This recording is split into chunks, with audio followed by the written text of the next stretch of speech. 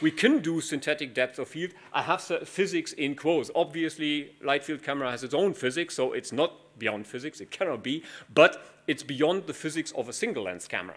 Um, and that's very interesting. You can do depth of field where you have several depth planes. You can shift the depth plane. You can uh, do the depth plane completely different than just a physically lens-based depth. So you can say up to a certain distance, everything is perfectly sharp, and then it's perfectly blurred, uh, and not just uh, with a normal optical flow function. Um, we can have synthetic motion blur, and we have many, many more things that we can do. So this is the motivation why we do this. These things you have already seen as some of the applications um, in Torsten's talk, so software refocus. We can do perspective change. Uh, we can do 3D reconstruction to a certain extent, and we can make new depth of field experiences. Introduction to light field video. Uh, also there you have already seen a little bit. I'm professor, so I'm damned to do a little bit of theory also um, uh, and tell you what yeah, I, I find fascinating uh, about light fields. So normal photography, I guess at least a third of you are very familiar with light fields. So for you it's a bit boring, but maybe two-thirds um, are interested in what the real difference is. Um, on the normal photography, each point on the convex hull of a scene is uniquely mapped to the sensor or to one pixel on the sensor. Um, a single lens, hence the physics of the lens, determines the image. Um, a single shutter, also important, because rolling or global, it, def it defines the temporal characteristic of the whole image. People sometimes forget about this. I'll come to that when I talk about our rig later on, because there was the question, oh, light field, not light field. There's a typo on, sorry. Um, there was a question of why we decided, or why Torsten decided for a rig rather than a single lens camera. I'll explain um, with the temporal domain. In light field capture, each point, and even beyond the convex hull, because the convex hull from one view might be slightly different than the convex hull from another view, so another view can look a little bit uh, behind, right? So beyond the convex hull of a single view um, is mapped to several sensor points. Um, a light field here, a rig, not a single lens camera, is controlled by multiple lenses. Um, in our case, you'll find it's 64 later on, uh, but very modular, so it could even be more. Um, and it's controlled by multiple shutters, which is extremely interesting because if the cameras can be made in a way that they shoot their image at different points in time, you can treat spatial with temporal resolutions. Every one of you since decades is aware of interlaced in TV. That was exactly the same motivation. We didn't have the bandwidth, so we needed to separate the image. Um, and then you could trade vertical resolution with temporal resolution. Now we have four dimensions in the light field plus the time. So you can really very, very sophisticatedly treat spatial angular resolution with temporal resolution. Um, yeah, and therefore we have five dimensions. Um, they are required for time, subaperture, and the single view photograph. As said, I'm a professor, so there always must be one slide that has at least a formula on. Um, it's a very simple, and you, you are dealing with uh, light transmission anyhow, so this is uh, everything boring for you. But I wanted to tell you a little bit about how we designed uh, our array. So our array geometry is de defined or des uh, designed in a way that we have chosen baselines, lenses, focal lengths of the lenses uh, with respect to the sensor sizes in a way that there is a very significant overlap so that it's really not just a multi-view image, but really a light field where all the cameras at least partially see the same part of the scene. Here's an example where I say uh, the most left camera should extend its view in the focal plane to at least the center of the most right camera. Right? If that's the case, then you can calculate with the geometry a little bit. And in our case, this leads, I give you the numbers because you see some videos afterwards, and in the videos, you will see a certain, let's say, arrangement of the array, and this is this arrangement where we have roughly a baseline of 100 millimeters uh, between the different cameras, um, which means that we have an array size of roughly 80 by 80 centimeters. You will find out it's 64 cameras later on. Um, and this is true if the distance is two meters with our parameters. Um, obviously, you can freely adjust uh, that one. You can adjust the baseline. You can change the lenses um, to adjust to the scene that you, that you have. But if you ensure that uh, the cameras really see at least big portions of the scene from all perspectives, then you have 64 rays per pixel on the convex hull, which enables you all this nice little post-processing that Thorsten also introduced. The parametrization, consequently, is then the 4D light fields as the typical thing, sub-aperture and pixel on the aperture. Um, and for us, 5D, where we add the temporal component, um, because we also are able to synchronize our cameras, and I'll show you uh, later on, but we are also able to adjust the phase of each individual camera. So they are all in sync with respect to the uh, frame frequency. So for example, 40 frames per second. Everyone, uh, all the cameras do 40 frames per second, but in which phase within this frame duration they shoot is very, very finely controllable. Actually, the granularity in our area is 10 microseconds. So with 10 microseconds, you can do this. And you can do everything that you want. You can say every second camera, half of the frame, um, all the cameras in a 64th of the frame, so like stroboscopic effect, or even only a sub-array of 3 by 3 who do stroboscopic and the rest does a normal full frame capture you can treat uh, spatial, spatial versus temporal resolutions very freely. Very first impression of our array, so we have been very lucky to find someone who finances uh, or, or, has finance, which is not, at least it's clear for the industry, but it's not that uh, self-evident for academia. Um, so we had uh, roughly 150,000 euros uh, for buying the material and all the researchers that put there 2.x, where the x can be significantly beyond the 2 if you calculate all the students that have helped. It's a 100% custom design. You will see this when I show the video of our first captures. And 100% uh, Custom design really means all the PCBs for the synchronization have been done ourselves. It goes down to that all the casings and all the cable uh, holders have been done with our own 3D printer. So this is really custom.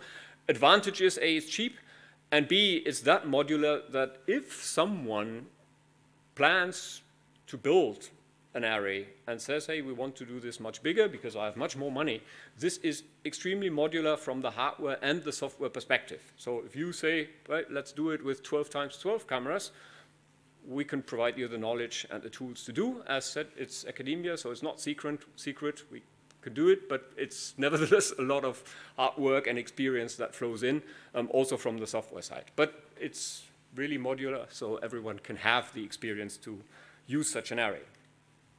Okay, here's a very first impression. You see uh, several of these videos, but that's just that you have an idea on how this array looks like. So it's a relatively flexible aluminium framing that enables us to do everything from roughly 60 by 60 centimeter up to 4 by 1 meter or 2 by 2 meter uh, so that you really can adjust the, the array to the, uh, uh, to the requirements. Um, yeah, here's some interviews. You know Volker. Everyone uh, knows Volker, obviously. So I can stop this here. It was just as an for an impression, and there is uh, another video in the slides that shows a capturing that we have done.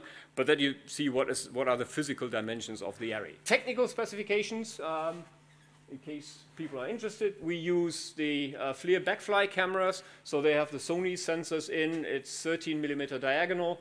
5.86 micrometer square for the pixels, uh, 1920 times 1200 resolution, um, 16 by 10 format, up to 41 frames per second, obviously global shutter because we don't want to have motion artifacts in there. Uh, we use 12.5 millimeter f over 1.4 uh, lenses. We typically also, as Torsten explained, try to use them um, with a very small aperture so that we really have a large depth of field and can do the things uh, afterwards. Um, the viewing angle is in our case, about 48 degree. The processing obviously is, and there were also the, the questions about the data rate, is quite demanding, let's say. So the array itself produces 72 gigabytes per second. Um, to control this, we have decided to equip each of the cameras with an own um, machine, and there are these Intel NUCs, the small uh, computers. It's Core i5 based NUCs. They are just used for caching the raw content um, and for encoding it into H.264 if we need encoded video. So we also have an, a multi-view encoder real-time that is running so that we can produce something that's streamable. For the whole thing that we discussed today, we took raw footage. Raw footage means 12 bits per pixel, 1900 uh, or 1920 times 12, uh, 1200, 40 frames per second, uh, quite a bit. Um, and they have, each of these uh, NUCs comes with a 256, uh, 256 gigabyte solid state disk so that it's fast enough to, to really cache everything, lasts for roughly between 15 and 20 minutes, and then we have to make a break now capturing, uh, and then the whole thing is connected to a very large, nearly 400 terabyte Ceph storage cluster, um, which then can use two 10 gigabits links, so 20 gigabits per second, to uh, empty the caches and put it onto the onto that storage. But overall, that's meanwhile, it, can be handled um, because you only need like three to four times real time for putting things out of the cache into the storage and to have half an hour of, of a break in a more complicated or several hour shooting proved to be relatively okay. Uh, but still, 70 gigabytes per second is quite a bunch of data uh, that appears. Yeah, custom design I already mentioned. Um, so the Genlock is a, um, a, plane that we've designed on ourselves, so also the PCBs, but even that we would be able to, um, or even willing uh, to offer. It's controllable per camera. The granularity is about 10 microseconds, and that gives you a very flexible uh, phase.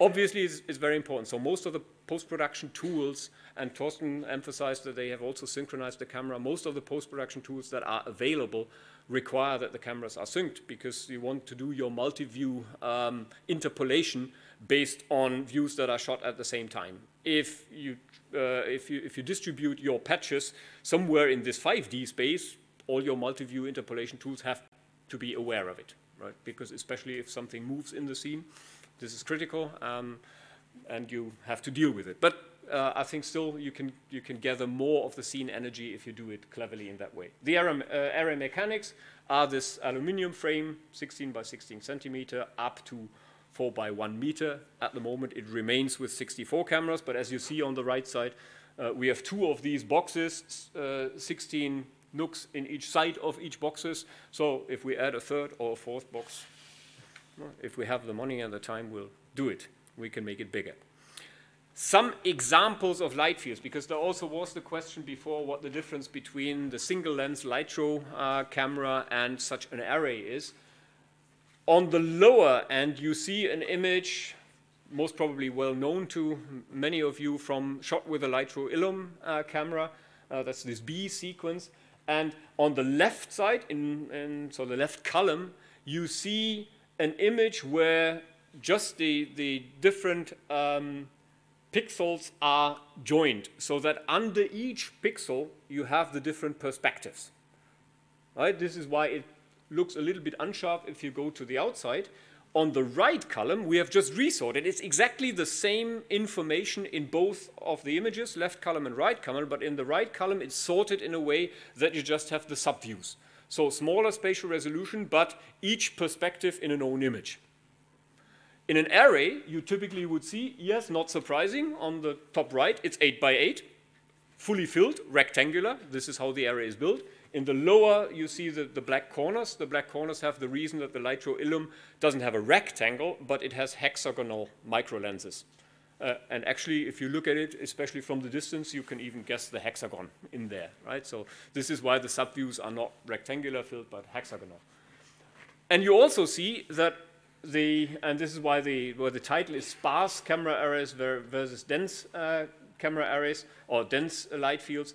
On the left side, you see that the Lytro Illum uh, image looks much sharper because the distance between the disparity between the different views is much, much smaller. It goes into the sub-pixel range, while obviously in a rig, in a camera rig, you have a disparity that's multiple 10, dependent on the distance, up to multiple 100 pixels. So that can be fairly big. Here's an image that shows a little bit what the filtering can do. Um, top left is just one view out of such a light field. Uh, lower left is a so-called hyperfan filtered version. So that's a thing that's filtered with a so-called four-dimensional filter Top right is the difference between the original and the filtered uh, one, and you see, okay, indeed, in the middle there is a volume where the difference is zero, where everything is black. And as soon as you go out of that volume, the difference is non-zero, which means that you really can start now volumetric filtering in the domain. And that's obviously a very nice post-production tool. Um, it's a little bit complicated mathematically because the two coordinates, unfortunately, are not orthogonal to each other, so you need relatively complex 4D filters, but um, you can do nice things. The right thing is just uh, to, to, illustrate that if you do it cleverly, you can really do it better. The, the uh, lower right one is the one that is typically done in mobile handsets today, um, namely just a shift sum. So you take the different images, add them up, but you add them up in a shifted way. Um, and this creates a synthetic depth of field, but you see it's not really a volumetric uh, filtering. There is quite some difference between uh, the top left one. So the, the upper right one would be the real good way to do it, but it's four-dimensional filtering. Okie doke, and that comes now to our own processing chain. Um, and this is now very similar to what Thorsten has introduced in his talk with the exception that it's not 4 by 2 but 8 by 8 cameras. So we start, oops, sorry, that was not purpose. I wanted to start the video. Ah. We start with the raw footage. We need to debayer it. So if you move in, the first step obviously is the debayering. Then we have the 64 images, which you will see on such a camera array don't have the same color. Um, obviously, so we need color adjustment. So we do color adjustment as the next step. And then comes what uh, has been introduced in the talk before, namely the rectification. So we rectify the images to have a concrete column-wise and row-wise uh, image in there. Yeah, it's, it's, a little bit coarse because it's just WMV encoding here. Uh, obviously, each one of the views has full HD. Um, and by the way, this is also maybe uh, interesting to mention. Sometimes we get the question whether the, uh, the single cameras have studio quality. The single cameras themselves don't have studio quality. It would be a pity if they would have, because obviously cameras, also 2D cameras, have evolved enormously and are enormously good.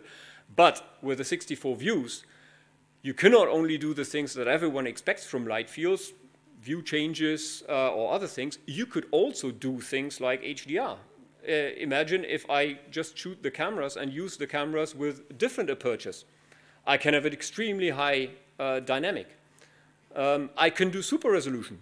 Um, so I can say if I don't want to change perspective, I, I, just choose one view, one perspective, and then I do a super resolution by all the pixels from all the 64 cameras. They all see the sequence of a slightly different perspective, which is not in integer pixels. So you get a far higher sampling rate spatially. Um, in our array, we have done the first trials, and it's no problem to do a very high, res, uh, a, a, very high dynamic 4K um, image out of this. So I would say the question, uh, do the cameras have studio quality? No, but does the sum of the cameras enable studio quality? Presumably, presumably yes. Okay, good. That was the technical part. Um, this is also the nice thing about me. I can do the technical thing and up to the rectified images, and then I give the rectified images to my creative partners. And I think Jonas will be the next one who will introduce then what we do out of this material. Jonas, floor is yours.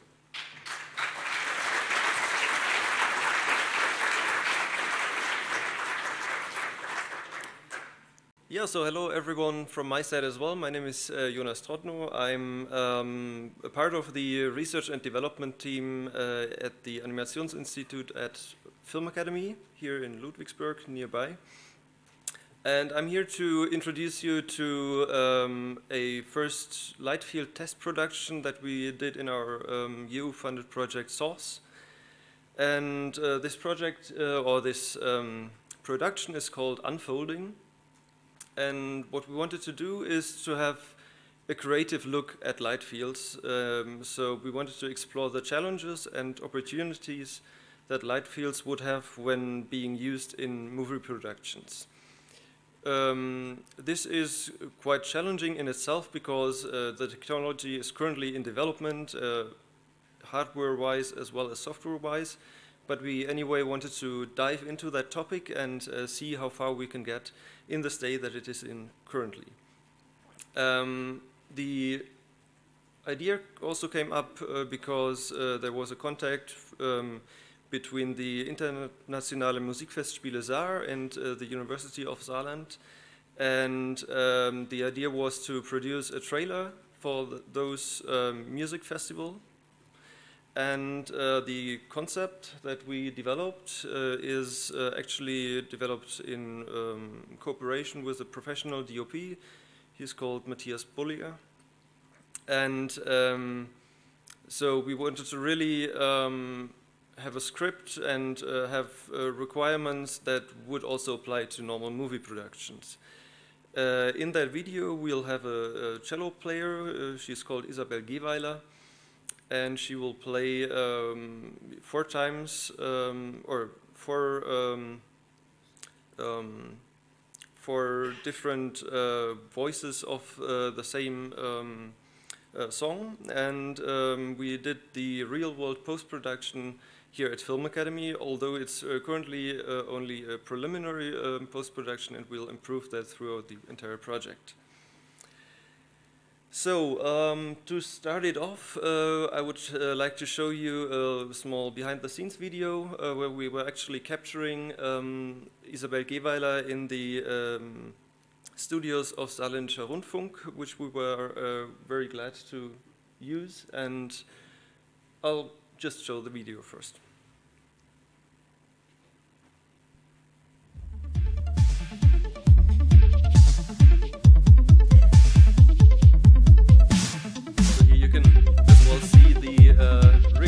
Today we're here in Studio One of the Saarländische Rundfunk with participation of several project partners of the European Union funded project SAUCE, Smart Asset Reuse for Creative Environments. And we have the opportunity to make some shootings um, with the camera rig that's been used in the project and that you see in the background.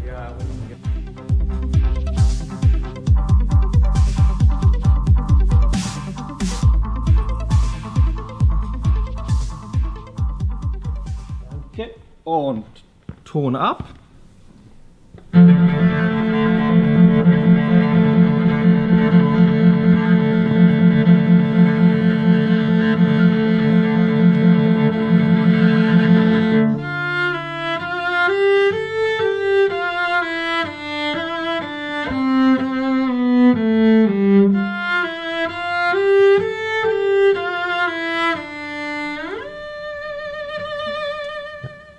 Danke nochmal, Kat.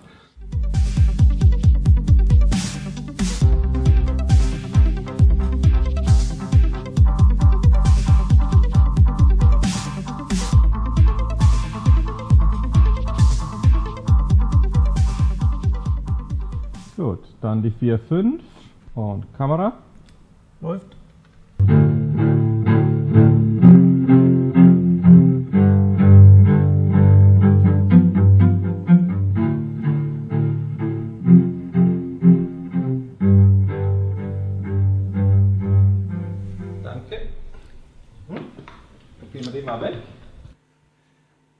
So I think you got an impression on uh, how that light field production uh, could look like. Um, and um, as you saw, we, we used green screen uh, in the um, yeah uh, in the studio, and we were trying to um, get as close as possible to to real production. So we had uh, all the light equipment uh, properly set up, and um, yeah, um, was, was a great success. Uh, but it also had quite some challenges. Um, there were some really immediate challenges that arise directly after uh, shooting, and um, my colleague Simon Spielmann will later on talk about um, challenges and opportunities in the post-production process. But immediately, um, first of all, data storage is quite challenging with light fields. Um, we captured uh, 21 minutes of uh, material, which resulted in 9 terabytes of data. Um, transferring those were the first step to do, which took already quite some time. And um, then, yeah, really uh, developing algorithms and um, having algorithms at hand that could handle such amounts of data in a convenient way is really challenging and is still in development within uh, the SAUCE project. Um, especially when you want to use um, tools that um, are normally used in post-production. So for example, Nuke or Gaffer, um, it, yeah, there simply do not yet really exist um, algorithms for those applications that can be directly used on a data like this, so with 64 uh, cameras, um, and we are trying to um, to develop uh, algorithms in the project that are uh, targeting the uh, data that we captured uh, during the unfolding production. Another problem or another challenge was that the rig, as you saw in the video, is quite big in size and needs some significant time for setup and calibration. Um, this is all fine. You can cope for that, but you need to account for it. And uh, the camera also has some physical uh, limitations. So normally you, uh, we were not able to uh, move the rig during shooting because all the cameras had to be in the very same constellation. So they shouldn't move, uh, individual cameras shouldn't move at all. Uh, otherwise the rectification would um, yeah, produce errors. And uh, yeah, the visual quality, as uh, already said, uh, in itself, each camera is an in industrial, industrial camera, not an ARRI Alexa or whatever. Um, but uh, in post-production, we can uh, account for problems that um, um, those smaller cameras introduce. We can increase the uh, dynamic range, we can increase resolution, but uh, in itself, the cameras um, might not deliver the quality that uh, we are already used to in uh, normal movie productions. Now, um, to plan our shoot, we were actually doing an entire previs um, in CG. We were doing this in Blender, and uh, CG we chose because in CG we can actually simulate all the effects that we would want to uh, produce with the real footage afterwards. So, um, for example, um, our unfolding production heavily relied on very narrow fields of view uh, very narrow, very narrow um, uh, depth fields basically, and uh, we wanted to simulate lenses with, uh, for example, a focal length of um, 50 millimeters and um, some um, aperture of 0.01 or something, which is physically impossible but can be used on actual captured footage with a light field. And you can obviously simulate that in CG, and that is what we did in advance. Besides uh, planning uh, what shoots we, what shots we actually need to do for the entire uh, song that we are going to capture um, are needed. And um, yeah, which effects are actually possible with those uh, light fields. We are focusing most on focus and depths of field that can be adjusted in post-production. So um, we captured everything completely sharp, and then we would introduce depth of field in post-production. We can also animate that depth of field in post-production, and we can also use um, tilt shift um, yeah, lens effects uh, that we can uh, add to the uh, original footage. We can also slightly shift the perspective and we are also uh, looking into how this shift in perspective can probably be used in uh, new display devices. Simon will talk about that in a second as well. And um, since we are uh, generating depth maps, uh, they can also um, assist when you're uh, chroma keying. They won't replace chroma keying entirely, but they can assist you for that. And um, we also brought the uh, previs video, um, which I can show you here now.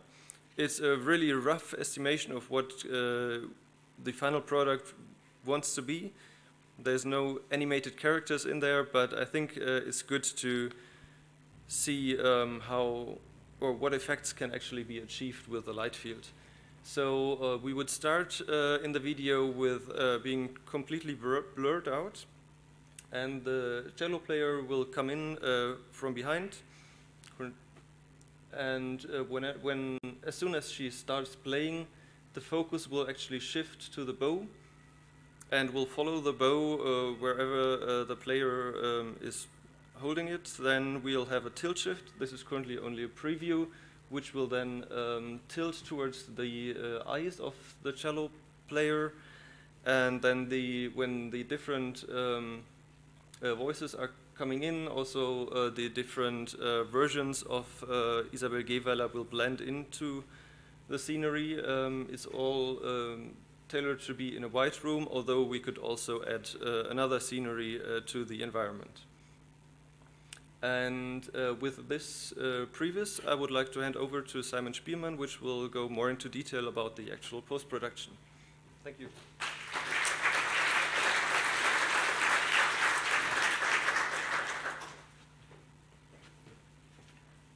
Yeah, again, hello. Uh, Simon from Film Academy's R&D team. Um, now, well, let's imagine uh, after the shoot, Torsten came to to Ludwigsburg with a bunch of hard drives in his bag, and we're trying, uh, sitting there with our new pipeline and trying to process something like nine terabyte of data, which is, uh, uh, yeah, almost insane. But no, uh, we didn't do it like this. We transferred it via a web server. But what we did, um, we started at the beginning. We would like to have something like a basis to compare um, a maybe upcoming light field production pipeline with a classical, already existing nuke-based pipeline. So therefore, we started, um, yeah, old school uh, post-production uh, to figure out what can be achieved with standard software. Um, and uh, we basically did a multi-view stereo production here. So we already used um, the available uh, perspectives, uh, 64 camera perspectives here to generate depth maps, and then uh, came up with an um, workflow uh, which is based on or was based on CaraVR and Ocula um, to generate um, yeah well um, the expected effects here. So the almost finished uh, pre-production is here and I can show it now.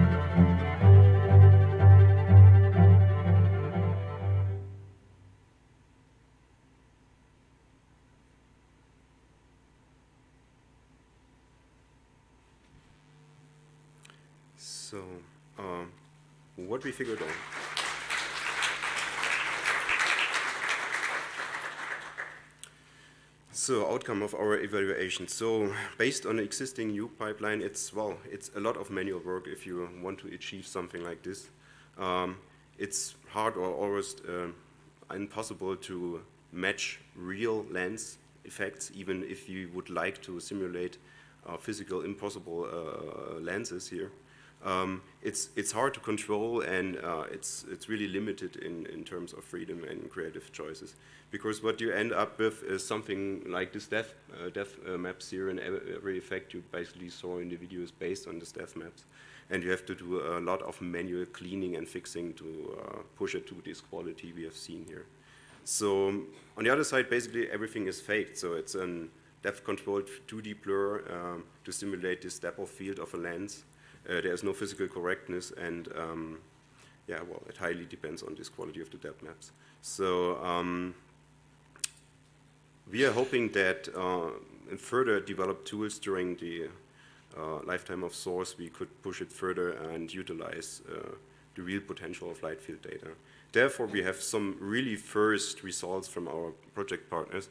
You can see it here this is um, directly coming out out of a prototypic algorithm um, implemented in, in MATLAB here, which is at the moment uh, suffers a lot of uh, artifacts and it's not that fast. But you can see that it goes into uh, direction. So this is not depth-based here. This really uh, uses uh, light field data to uh, create all these multiple, to create this depth of field by merging all these views. Um, so where we would like to go. So, well, first of all, better depth maps, because that's the key to a lot of effects, maybe also to replace the, uh, the green screen uh, in future or to, uh, well, have a better solution of um, separating objects uh, in, in 3D uh, scenery.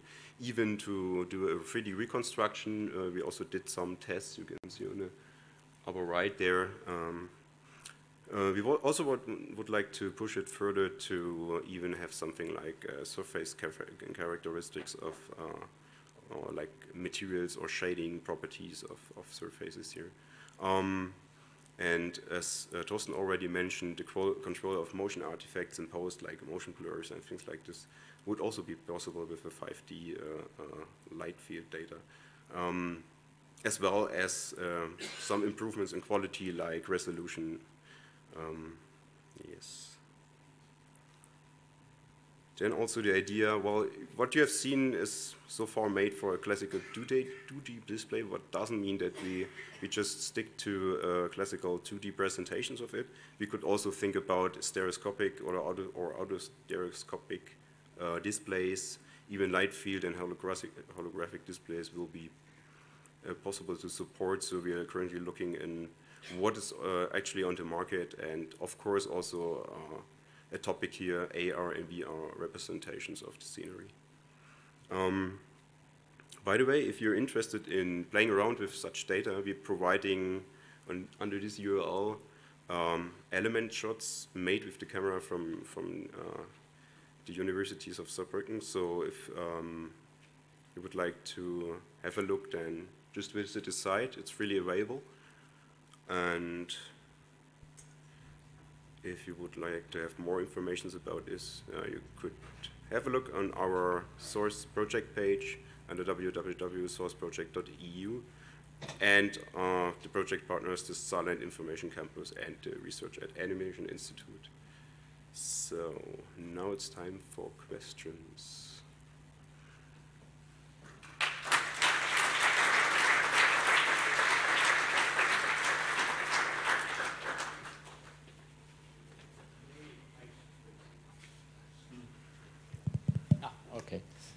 So maybe it's important to add that um, SAUCE is a three-year project that uh, is is, pretty much at the middle of the project. So it's one and a half more years to go. So there's a lot of things that will be coming up and will be published in the next month. So. Um, you were talking that you were using um, multi-view stereo reconstruction. What did you use for that? Mm -hmm. So there's several things here. So uh, we we did a typical single stereo reconstruction, and we have some uh, tools from our project partners. Uh, in detail, it's Trinity College Dublin, which are able to use mm, uh, more than one or more than two views to uh, create an, a depth map or a disparity map out of this data. Okay, thanks. Did you have uh, one depth map overall, or did you have different depth maps for every single camera view? We have different depth maps for every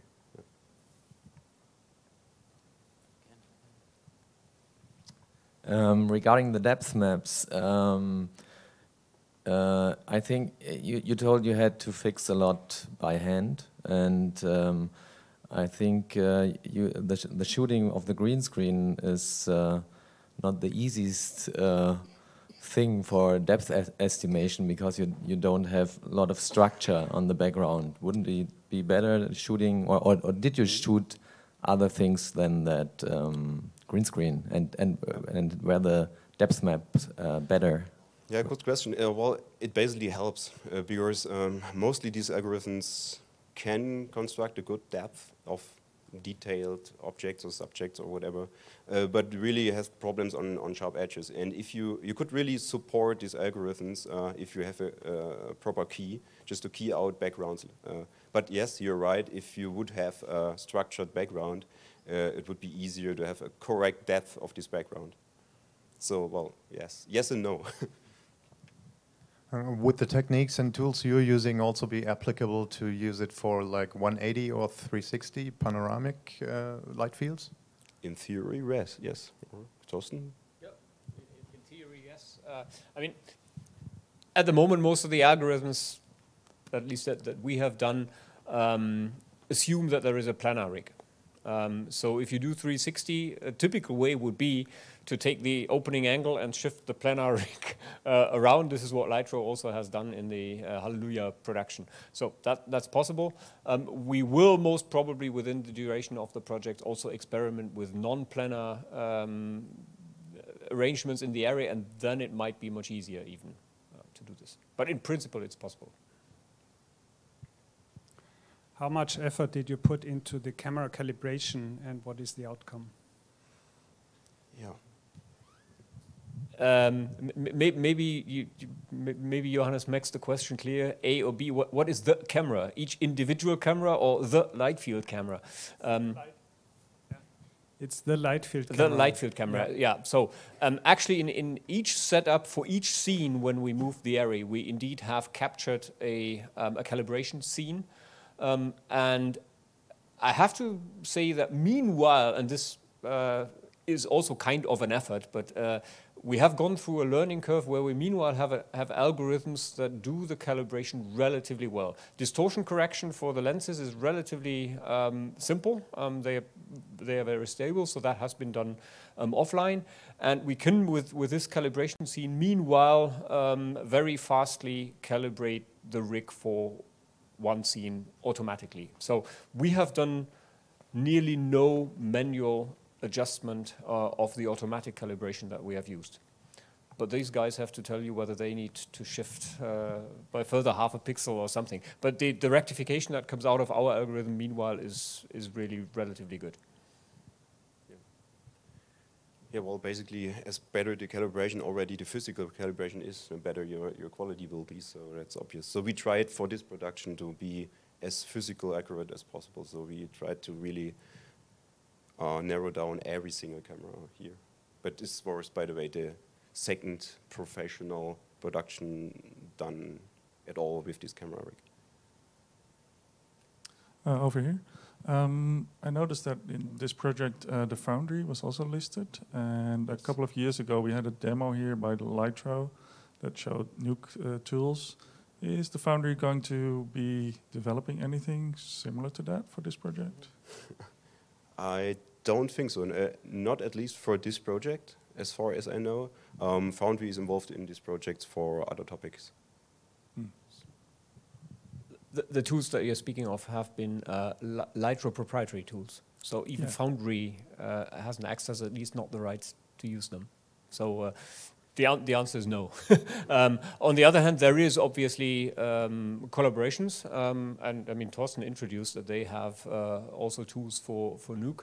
Uh, so I think we're, we're all trying. And this is also the good news for, for this, this afternoon. I mean, the, the interest in light fields is increasing. So many unsolved things, so we're not at all competitors to each other, but we all try to, to gather uh, things. And if there is someone who does Nuke tools, then we try to uh, to collaborate in a way that we can make them, um, yeah, that we can make them running because simply they they are not able yet.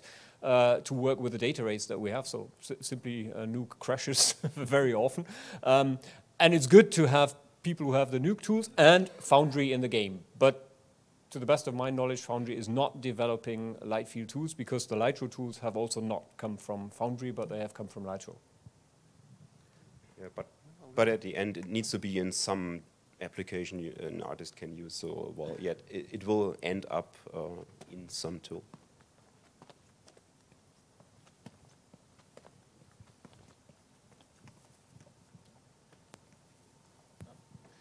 So my, my question is actually about audio.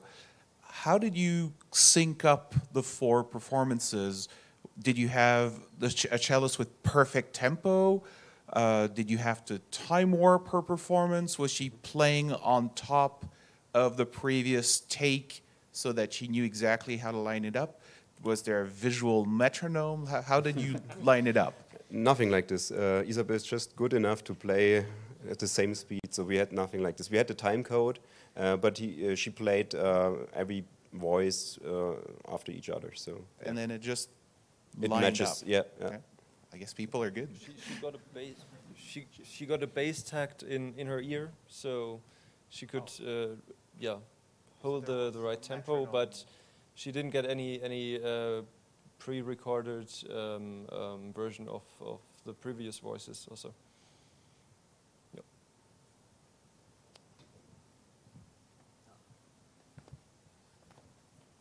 So while I'm walking to the next person, I, w- I- I just would like to mention that there is actually something called a creative user group for Project SAUCE. So it doesn't mean you have to sign up uh, uh, for a subscription, 10 month, uh, 10 bucks a month, but it means you can um, get information about the activity within the project. So uh, all you need to do is look up SAUCE EU project at LinkedIn and click the join button, and then you'll get more information, and you're part of the user group then.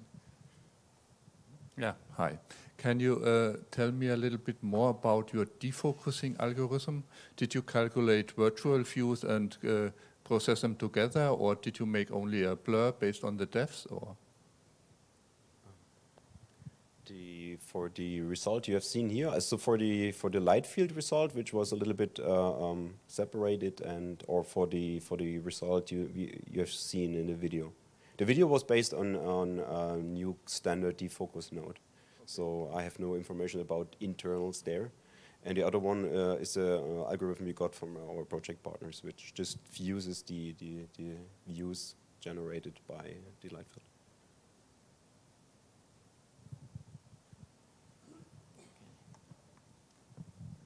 Um, uh, 64 cameras is quite quite big data, yes, but uh, I think it's still a, a, sparse light field. So, do you do you calculate a dense light field from that data, or do you use just that uh, that uh, sparse light field for the algorithms?